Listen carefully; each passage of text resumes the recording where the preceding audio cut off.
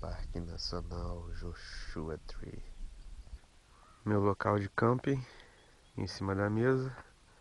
São 5 e meia da manhã, está amanhecendo. Parque Nacional Joshua Tree. A luz estava cheia, me manteve acordado em alguns momentos da noite. Estava bem claro aqui. E olha quem me deu um susto de madrugada. Nosso café da manhã é a fruta da árvore. Caiu ali, ó, bem do meu lado. Então, o que nós temos? A fruta, uma banana, uma barra de proteína, que de praxe. Tá igual pedra, porque fez bastante frio à noite. E um pouco de água. Tá aí nossa cama. Hum. O que, que é? O que, que você quer? Quer tomar café da manhã? É esse bicho que come a fruta. Um pássaro maior do que eu esperava. É, temos aqui nosso, nosso colchonete inflável, nosso travesseiro, que é o colete jeans, e o saco de dormir, que aguenta altas temperaturas, menos 10. É isso, nossa manta andina, ticana. Tudo isso aqui vai dentro do saco bag que vai lá na nossa garupa. Saco bag da MC Alforge. Tá aí apoiando a viagem. Valeu, Marina. Agora que você vem, cara. Agora acabou. Só tem lixo agora. Agora é hora de escovar os dentes. Coelhinho.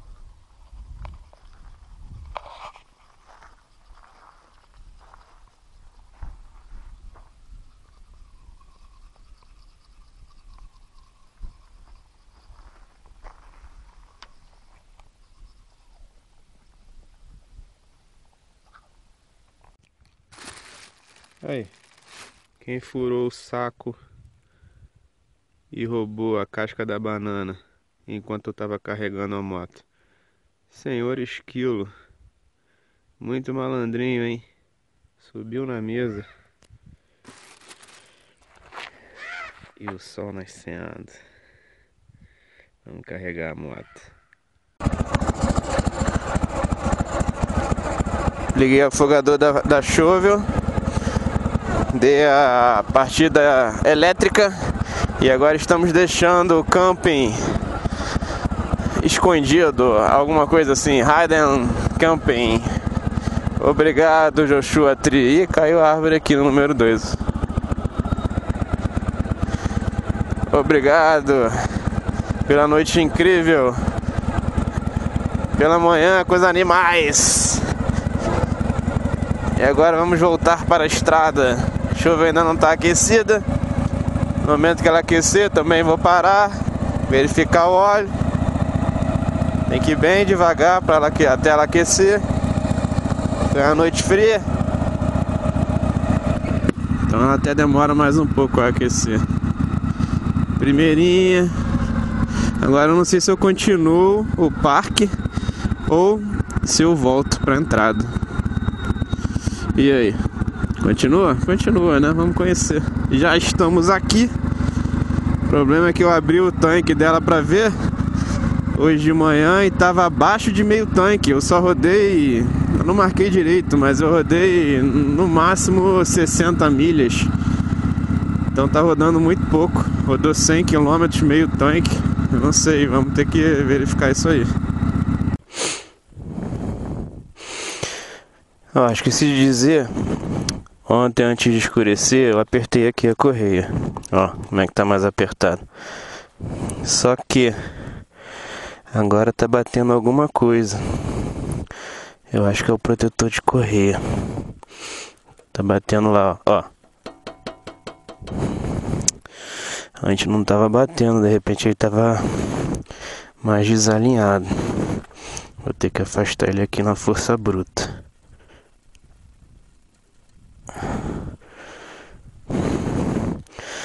Acho que agora não vai bater. Correia tava muito. Ah, correia. Corrente tava muito frouxa, realmente. Pegou duas voltas ali no parafuso e agora tá mais apertadinho. Ver se não vai bater.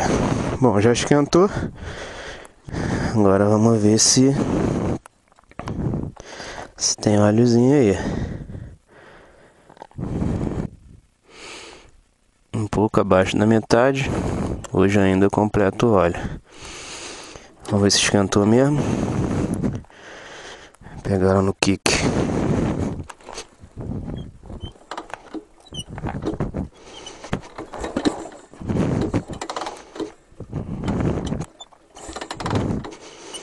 É uma arte, né, galera?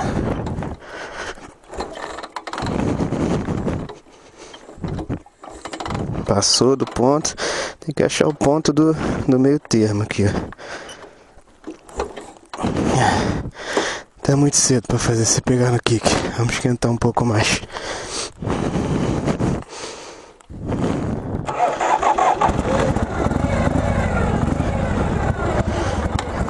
Tomara que o problema seja esse mesmo. Do protetor batendo ali na corrente.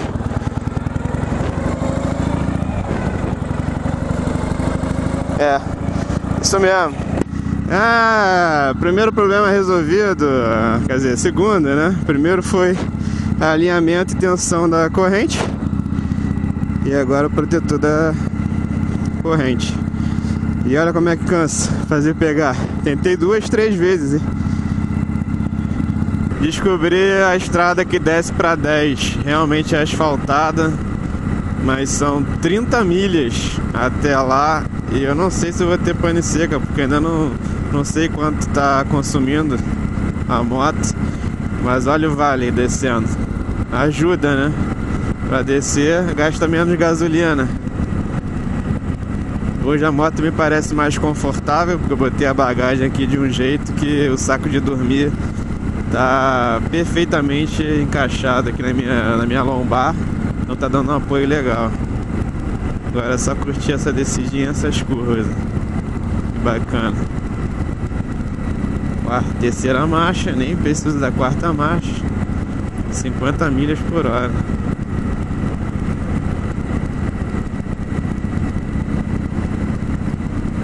Aí. Curvas. Placa de curvas. Uh! é, mas a motoca balança. Quando tu, tu inclina bastante, ela. Uou! A Chopper, né, cara? A Chopper é fogo. É a frente lançada, não tem fork brace. E não é tão Chopper assim, mas dá pra sentir a diferença. E a roda dela é 19 fazer uma redução aqui. Eu tava de quarta mesmo, agora sim tô de terceira. Que bacana essa estradinha. As árvores ficaram para trás, nessa região aqui não tem a Joshua. Ficaram lá para cima. Não tem a Joshua, mas em compensação tem esse jardim de Chola. C-H-O-L-L-A. Parece um cacto. É, é um cacto. Chola Garden. Bem bacaninha.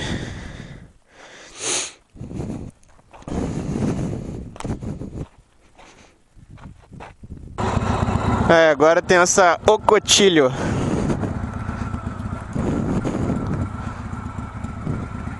São flores com os espinhos bem grandes. Tipo de cacto também. Olha, rodei mais de 40 milhas. Sorte que foi tudo baixando. Ó, Highway 10 passando lá, ó, os caminhões, as carretas.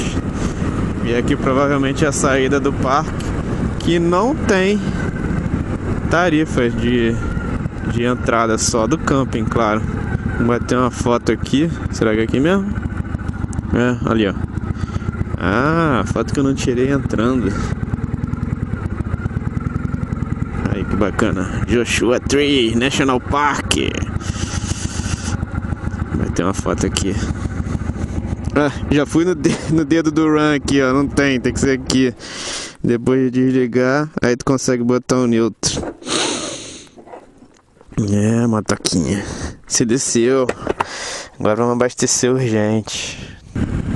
Ainda bem que eu escutei o barulho do protetor da corrente batendo na corrente no parque, né? Porque descendo aqui pra highway não tem desculpa não, tem que andar no mínimo a 55, que é a velocidade dos caminhões. A galera tá passando aqui a 60, 65. Na verdade eu nem sei quanto é a velocidade máxima aqui na Highway 10. Ainda não apareceu. As interstates, é, elas têm a velocidade maior do que as outras. Aí mais um caminhão ligou certa, vai me, vai me cortar. Eu tava 60, aquele caminhão lá da frente me, me ultrapassou. Estão vindo duas carretas agora. Aqui também é deserto, não tem posto de gasolina, então eu tenho que sair na, na primeira cidade que aparecer aí para abastecer. Ó, tô a 60. Ó a carreta me passando aqui. 60 também é são 96 km por hora, né? Ele deve estar 110, ó. no mínimo a 110. Ó, Índio 21 milhas. Caraca, mas não tem posto de gasolina nessa parte sul do parque. Pior que a 60 milhas eu consumo bastante, que foi a parte é, superior lá, a Califórnia 62. Fiz subindo também, a moto consumiu demais. Ó, Interstate 10, Califa. Ai, graças a Deus, consegui. Agora, eu não cheguei a passar pela pra reserva, mas eu sei que o off não tá funcionando, porque eu rodei um, uns bons quilômetros no off. E a moto era para morrer e foi tranquilo, nem engasopou, nem, nem engasgou, nem nada. Agora vamos lá, pedir pro cara botar quinzão aberto e abastecer. 3,89 o galão da 87 e 4,9 o galão da Supreme. Macetinho do dedo aqui. Pedi para colocar 15, entretanto, acho que vai até mais, tá bem lá no final da, do tanque.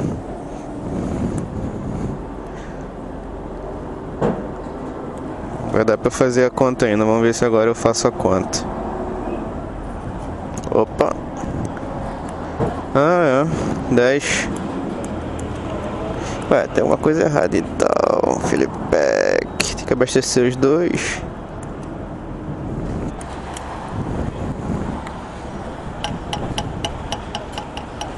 Ó, a tampa da chuva é assim, ó.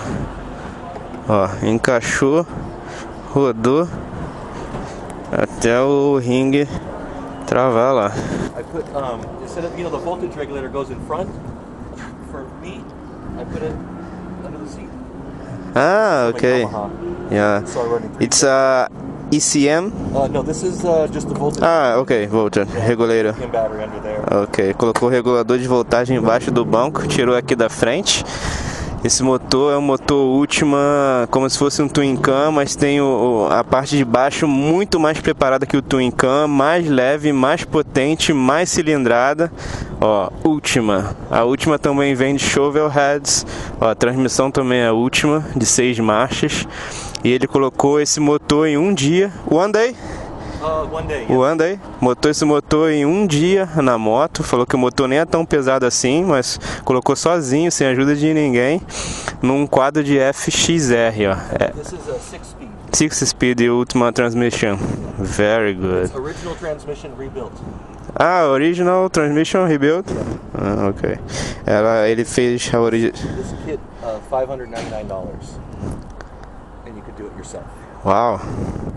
bem barato e ele fez sozinho o motor e a transmissão, também é feito original da última, num quadro de FXR e botou a rabetinha da FX. Ficou bem bacana a moto dele. Também a frente chegou a minha, a mesma roda da frente, 19, botou um 2 em 1, um. show. Nice to meet you, Nick. Thank you. see you, see you there vai pro Born Free também. Não posso avisar vocês que a gente vai pro Born Free sábado e domingo. Aí, motorzão. Ainda tem um somzinho de carbura. E não é carburada não, é injetado. Falou que esse motor é muito mais potente que o Twin Cam e mais leve. Achei muito bacaninha a moto dele. Oh! Sabe que eu tô filmando. See you. Bye bye. Muito legal a moto, galera. Muito bacana. Bom, Fiquei aqui conversando com ele já uns 20 minutos, gastando meu inglês, cansado, a moto já tá relaxada, bebi uma água, comprei uma barra de proteína. Vamos voltar a rodar.